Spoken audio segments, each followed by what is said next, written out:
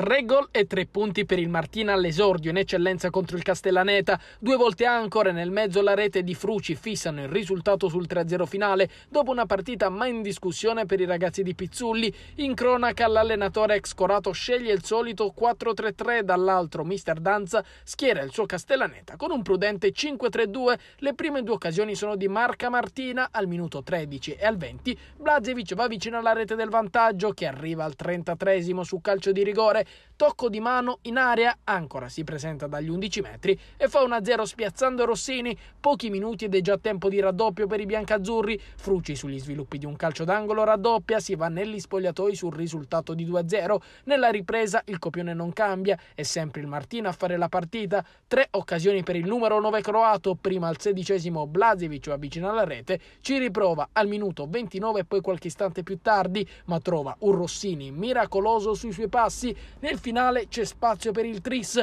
ancora dribbla tutti e deposita il pallone in rete, finisce così 3-0 al Tursi i primi tre punti per il campionato per i ragazzi di Mister Pizzulli che non tradiscono quindi le attese della vigilia.